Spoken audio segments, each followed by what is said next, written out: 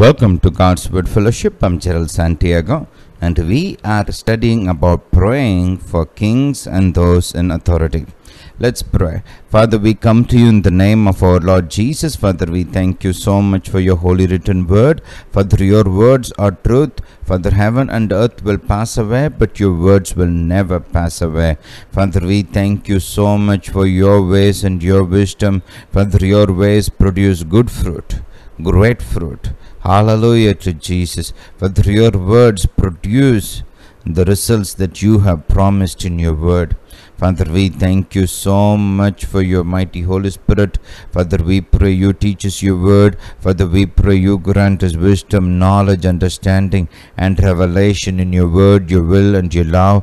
Father, we pray you grant us ideas, concepts, and insights. Father, we pray you show us great and mighty things that we do not know. Father, we pray you show us wonderful things out of your word. Father, we thank you for word and due season. Father, we thank you for answers and solutions. And Father, we pray you stretch out your hand to heal, and that signs and wonders be done by the name of thy holy child Jesus.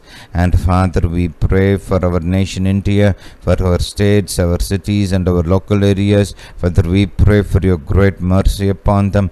And Father, you are love, you are great in love, you are full of compassion. Father, you are abounding in goodness. And Father, we pray that you stretch out your mighty right hand according to your great love, according to your great mercy, and bring about a marvelous deliverance from the coronavirus, a permanent solution, Father. Father, we thank you for your mighty deliverance. Father, you are so good, so great, and so awesome. Father, nothing is impossible for you. And Father, we thank you so much for your mighty deliverance for our nation from the coronavirus. And Father, by the authority of your word, in the name of Jesus, coronavirus die and be destroyed. In the name of Jesus, we bind the works of the devil behind the coronavirus. In the name of Jesus, let every scheme, every plan, every device, every weapon of the devil behind the coronavirus be broken and destroyed. In the name of Jesus, let life blossom. In the name of Jesus, life prevail. In the name of Jesus, life mightily prevail. And Father, we thank you so much. You helped us. Father, we thank you for your marvelous help. Father, you are glorious. You are great in power. Father, nothing is impossible for you. Father, we thank you so much for your help for us. And Father, we pray for your blessing upon our nation. Father, we pray you bless our land and bless our people. Father, we pray for your peace upon our country. Father, let all the chaos and the disorder and this um, lack of peace be removed. Hallelujah to Jesus. Father, let your peace prevail over our nation. Father, let your peace permeate into every part of our country. Hallelujah to Jesus. Hallelujah to Jesus. Father, let churches be opened. Let ministries function without any stifling regulations. And Father, let um, jobs, businesses, industries, companies, and all sorts of businesses be opened again. And Father, we pray that schools, colleges, and universities be opened again. Father, we pray for your great mercy upon our people. Father, let normal life be restored back again. And Father, you are able, and nothing is impossible for you. Father, we thank you so much for your glorious help for us. Father, in the name of our Lord Jesus, we pray. Amen. Hallelujah. Hallelujah to Jesus. I encourage you to pray for our nation on a daily basis. It's so very important. It's so very important that we, do, Christians, and those of us who know how to pray, stand in faith. Right? We need to stand in faith so that we can move forward. We cannot be stuck in this kind of a twilight zone all the time. Hmm? You're not there, you are not here. You go into that part a little bit and then go back again. Nah, we're not doing that. We need to stay in faith, we need to look to God, and we need to keep moving forward. Right? We, in our personal lives, yes, which we are doing, but we also need to use our faith for our nation. Hallelujah. Hallelujah to Jesus. All right, then let's go to our text today. Go with me to um, 1 Timothy chapter 2, verse 1. The last few weeks we have been studying about praying for kings and those in authority. Verse 1 I exhort, therefore, that first of all supplications, prayers, intercessions, and giving of thanks be made for all men, for kings, and for all that are in authority. Notice the Bible says, first of all, right? We already said in the previous week in the Greek, it means first in rank, position, time, place right? It means before before other things. It means chiefly right? So this prayer that we pray for kings and those in authority is of prime importance in the eyes of god. God puts a lot of premium on this. God values this prayer a lot. So this should be on the top of our prayer list. Praying for kings and those in authority did you get that? Hallelujah to Jesus. All right, let's keep reading. Why? Why is God saying that we should do this number one? Right? Um, all right. Verse 2 again. For kings and for all that are in authority, that we may lead a quiet and peaceable life in all godliness and honesty right? God wants the body of christ to be able to live a quiet life a peaceable life in all godliness and honesty right?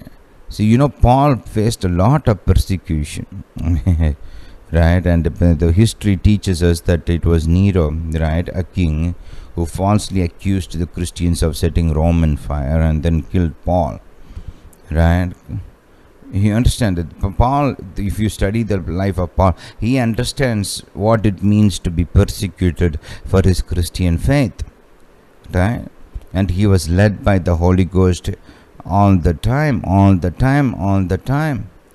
And uh, here, and he faced a lot of kings, lot of authorities in his life.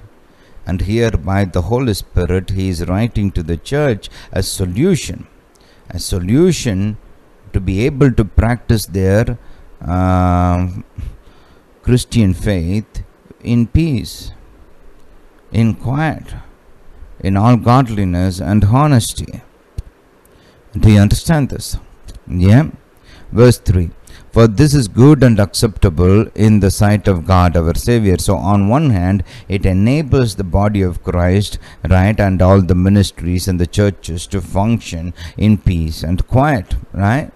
And the other benefit is that it is good and acceptable in the sight of God, our Savior, who will have all men to be saved and to come unto the knowledge of the truth. Right? So, on the, the second benefit is that this is very important for the spreading of the gospel, for preaching Jesus to unbelievers. You know, that is God's number one desire that people need to be saved Right? He doesn't want his precious souls to go down into hell. No, he wants people to come to him. Right? So that the praying for kings and those in authority will facilitate the preaching of the gospel and the salvation of the unbelievers, salvation of the lost.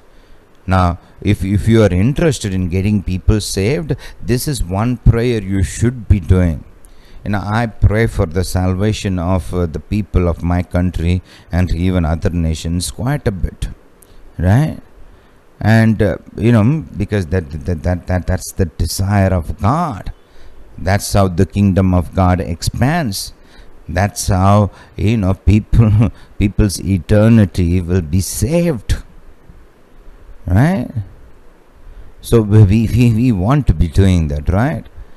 But we also need to remember that this prayer, praying for kings and those in authority, eh, facilitates the preaching of the gospel and the salvation of unbelievers. Do you understand that?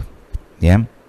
Today we are going to look at some biblical examples of how the decisions of kings and those in authority affected God's people, right, and nations.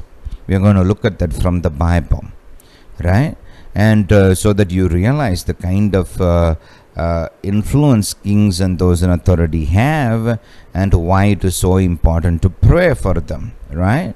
Hallelujah. First of all we are going to look at king david this this is a great guy. Now, now we will look at some bad characters later. Right? But this is a great guy. I, I mean, you don't get better than this. This is David, the man after God's own heart. And this man is a man of prayer. And if anybody knows how to pray, it would be David, isn't it? He's a man of prayer. He's a man who sought God. He's a man of the word of God and man who loved God and loved God's people. This is a great man. And if, if you want anybody to be a king, you want King David to be a king, right? So, so th- this is a great guy, right? I mean, pe- people would be praying to receive a guy like this. Awesome guy. Now, look at what happened in his life. You know, we, we, we know King David was a great ruler, right? He administered justice for his people. He he fought wars for his people successfully, protected his people, and um, he was a great ruler, right? And he was wise. He was capable. He was just, he was kind and merciful to people. He loved God, he served God. I mean, this is the kind of uh, guy who, who, people dream of, right? If, if we had a king like that, right? So, let's look at uh, an incident that happened in David's life. Verse 1. Uh, I'm sorry, did I give you the verse? I'm in chapter. First Chronicles, chapter 21 and verse 1. And Satan stood up against Israel and provoked David to number Israel. It's interesting. Notice the Bible did not say, and Satan stood up against David. So this attack was not towards David. Right? This attack was against Israel. So the devil wanted to hurt the people of Israel.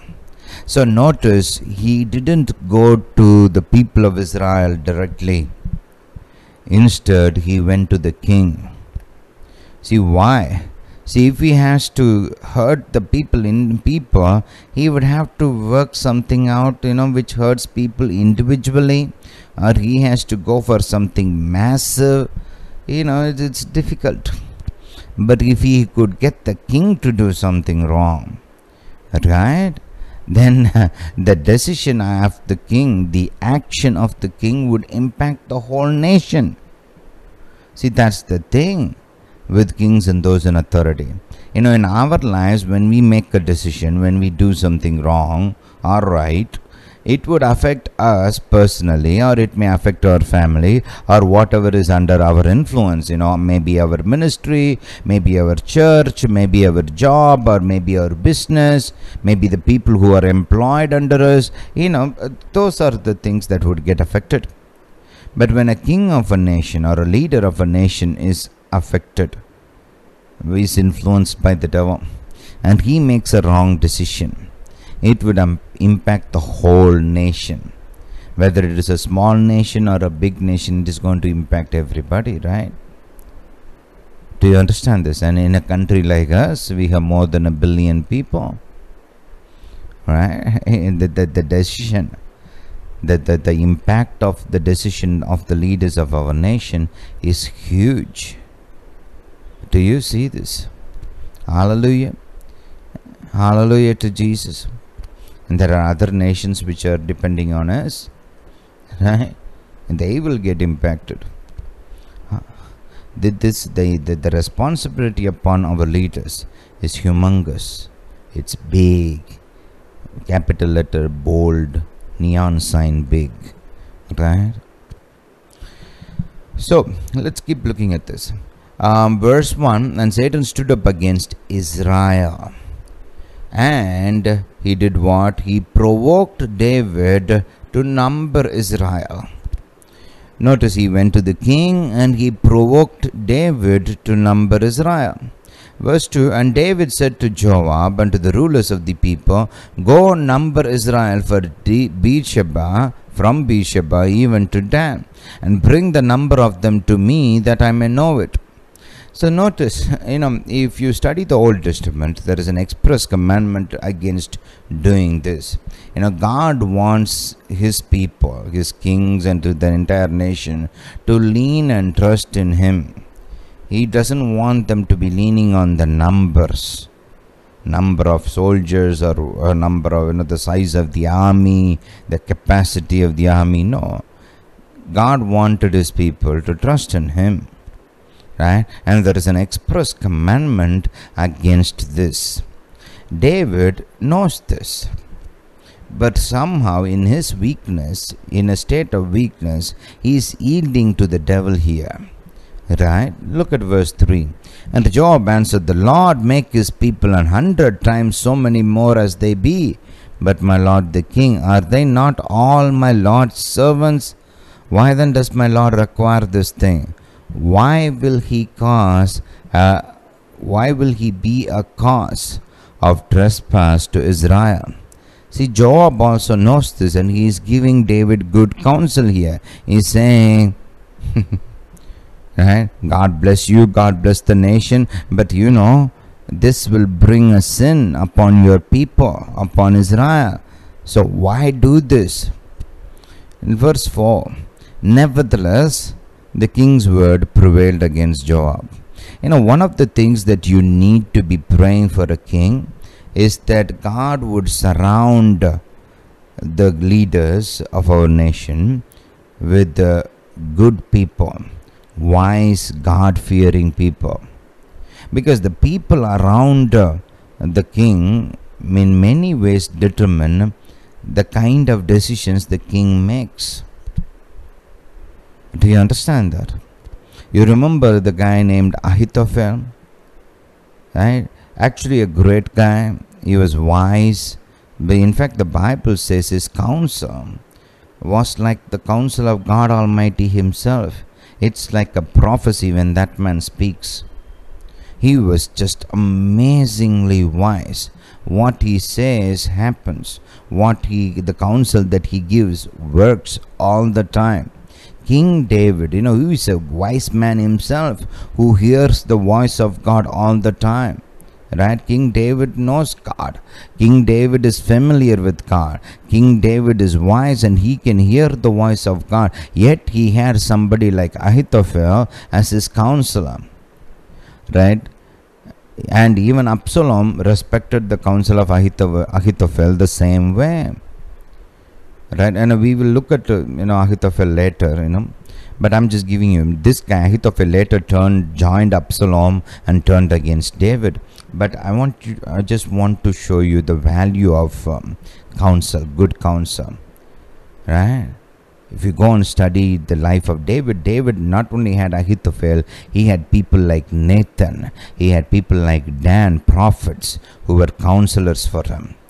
Right? He had good people around him, people like Benaiah and Joab in this case. Right? He had good counselors, good people around him. That's very important. That's one of the things that you want to be praying for kings and those in authority. I'm going a little ahead of myself. Actually, we will deal with this separately when we know in one of the messages because this is so important. The kind of people that you have, uh, that that a king has around him right? Very very important. So you should be praying that god would surround uh, the the leaders of our country with wise god fearing and able people right? That god would remove uh, the wicked from their presence right? and god would defeat ungodly wicked foolish counsels. You understand that? Hallelujah. Hallelujah. That should be one of the main things that we pray for kings and those in authority Alright, now here in this case, the king overruled the good counsel that Joab gave.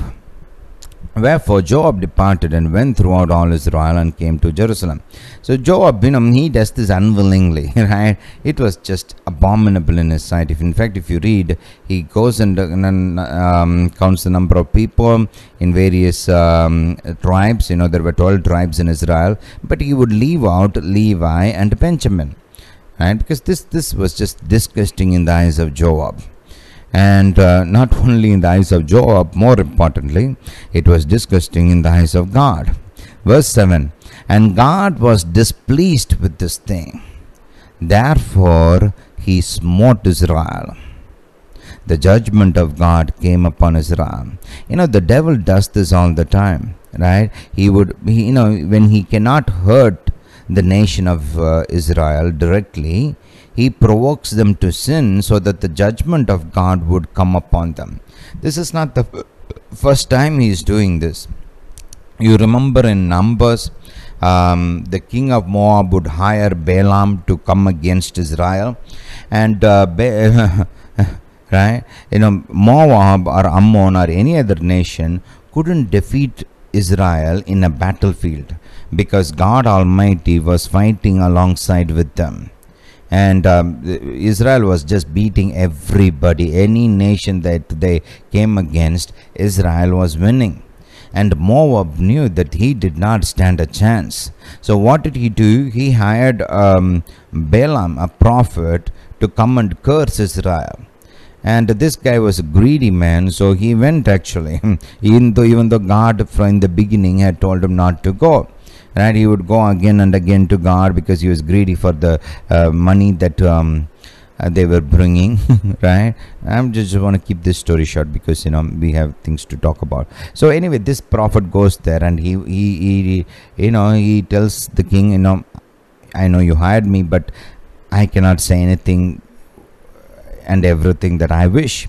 I can speak only what god tells me to speak so he offered sacrifices in different places, and every time God would speak a blessing instead of a curse.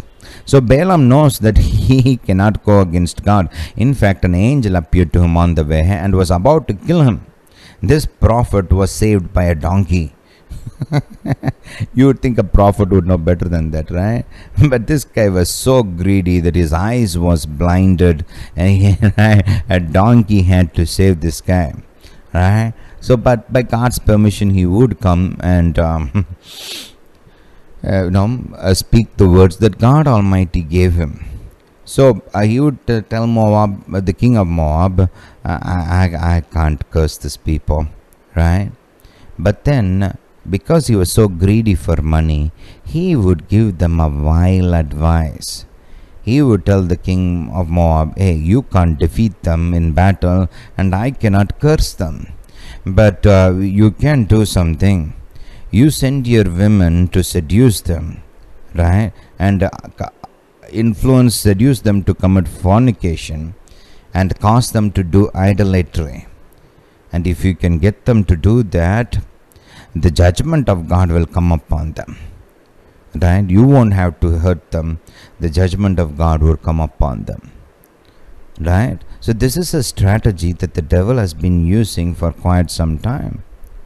If he cannot f- defeat people in battle, in, in a straight battle, he would use this trick tempt them to do something that is displeasing to God and bring judgment upon the nation. Do you understand that? Right? Or even in individual's life, this is a trick that the devil uses, and we should be aware of the strategies of the devil. Now look at this. God was displeased with this thing, and therefore he smote Israel. Verse 8 And David said unto God, I have sinned greatly. and one thing about David, he's quick to repent. He, he is not a stubborn fellow, right? He, he is just quick to repent. So he repents. Because I have done this thing, but now I beseech thee, do away with the iniquity of your servant, for I have done very foolishly. Right? That's humility, isn't it? This guy, he know he has messed up and he repents just speedily. And you should be very quick to repent. It's a noble thing, right? If you have done something bad, you should just be quick to repent. Verse 9 The Lord spake unto Gad, David's seer, saying, Go and tell David, saying, Thus saith the Lord, I offer thee three things. Choose one of them, that I may do it unto thee. So Gad came to David and said unto him, Thus saith the Lord, Choose thee three years of famine, or three months to be destroyed before your foes, while that while that the sword of your enemies overtake thee, or else three days the sword of the Lord, even the pestilence in the land, and the angel of the Lord destroying throughout all the coasts of Israel. Now therefore advise yourself that word, what word I shall bring again to him that sent me. David said unto Gad, I am in a great strait. Uh, this is a hard choice. There's going to be a problem anyway, right? It's just the kind of problem and the degree of problem, right? It's it's a big problem, no matter which one he chooses. But he makes a wise decision, and I, I would want you to pay attention to this, right? This is so very important. Look at the kind of understanding David had about God. He said, Let me fall now into the hand of the Lord. For every, I mean, for very great are his mercies. But let me not fall into the hand of man. He's saying, Let me fall into the hand of God because I know something about God. God's mercy is great. God is great in mercy. So if I fall into the hands of God, I know He will have mercy upon me. Right? And you would notice that later that God would actually you know feel bad for Israel and stop ask the angel to stop. And David would offer a sacrifice. Right? And God would um, have mercy upon Israel and to stop the pestilence in one day instead of three days. Right? so, see, that, that's why David wisely chose, let me fall into the hands of God. Right? Hallelujah. But I want you to look at something else the impact of the decision of David. Look at this. Verse 14 so the Lord sent pestilence upon Israel, and there fell of Israel seventy thousand men. Seventy thousand people. Right? Seventy thousand. Think about that. And if it, if it had continued for a couple of more days, boy, right? We we talk about uh, you know great impact if 200 people die 300 people die or 1000 die. The 70000 people perished in a day. Think about that. Hmm? this is this big number isn't it? And why did this happen? Yes of course the devil came against them and provoked david. But i want you to understand because of a decision the king of the country made. Look at the impact of the decision of a king. Do you see this? And that's why praying for kings and those in authority is number one. It should not be in the last in the list. It should not be something that we do if we have time. Now, this should be number one in our list. Did you get this? Hallelujah. We will look at more more things in the coming coming weeks, right? We will study more about praying for kings and those in authority. I want to leave you with this question. If someone like King David can be influenced to make a bad decision like this, how much more the kind of kings and leaders we have today? We, they need our prayers they really need our prayers. And God has promised us, whether they are believers or unbelievers, if we would pray, God will hear our prayers and influence them to lead our country in a wise way, in a godly way. Do you understand this? Hallelujah to Jesus. Thank you so much for listening. God bless you. Please make a note of our WhatsApp number. It's 99442 Um, also, make a note of our email address. It's prayer at gwfindia.in Please do send us your prayer request to our email address or to our uh, WhatsApp number.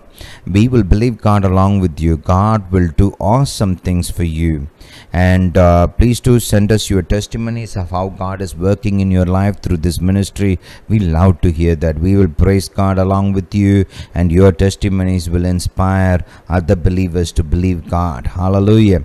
And um, those of you who want to send offerings to this ministry or become a partner in this ministry, visit our website gwfindia.in. Click on the donate tab, and you will have several options through which you can send your finances.